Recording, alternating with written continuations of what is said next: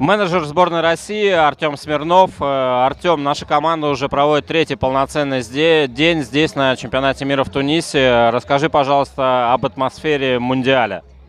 Ну, атмосфера соответствует э, событию. В первую очередь э, есть атмосфера Олимпийской деревни, которая царит в отеле, который находится ну, практически э, в 50 метрах от э, стадиона. Э, атмосфера добавляет и близость э, море, оно тоже здесь даже еще ближе, чем э, стадион. Все нормально, рабочее, при этом, соответственно, э, больше, конечно, футболисты думают о футболе, э, зрители наслаждаются зрелищем, все нормально, все соответствует.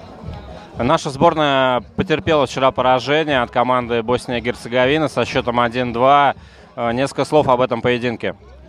Ну, нас в первую очередь интересовало качество игры, потому что мы не устаем повторять, что это не родной для нас формат, и э, нам тяжелее, чем тем сборным, которые играют круглый год в этот футбол, втягиваться, да, и это нам приходится делать по ходу э, турнира, и это то, о чем, скажем так, нужно нам отталкиваться и понимать, да. Поэтому нас интересовало качество игры. Качество игры, э, скажем, удовлетворило больше, чем результат. Э, хотелось бы набирать очки. Э, при том, как складывалась игра, их надо было брать. Но это футбол, и не всегда выигрывает даже та команда, которая владеет э, преимуществом. И это в том числе и из этого надо извлекать уроки в том плане, как свои матчи вытягивать и доводить. Но это рабочая ситуация. Мы, собственно говоря, и в Чехии начинали с поражения будем считать, что это все работает э, и на команду в том числе, и поможет там мобилизоваться. Никаких как бы э, проблем серьезных в этом не видим. Э, надо просто решать все в оставшихся двух матчах. А выходить с первого или там со второго места не принципиально на таких турнирах, если цели стоят попадать в медали, а не выход из группы. Несколько минут назад закончился матч наших соперников по группе С Бразилия и Сомали.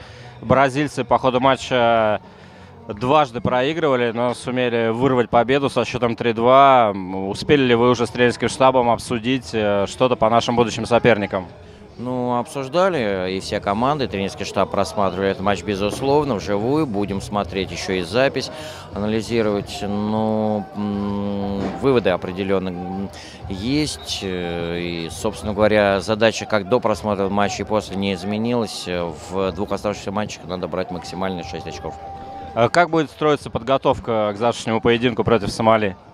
Ну, все традиционно, да. Сегодня, безусловно, э, уже никаких э, не тактических занятий не будет. В индивидуальном порядке игроки отдыхают, просматривают матчи, большинство здесь на стадионе. А завтра с утра завтрак, после теории, будем изучать соперника, готовиться. Но учитывая, что у нас игра ранняя, собственно говоря, первая, так что все пройдет мобильно, просмотр, подготовка и непосредственно уже игра. Спасибо огромное, Артем, и удачи сборной России на турнире. Спасибо.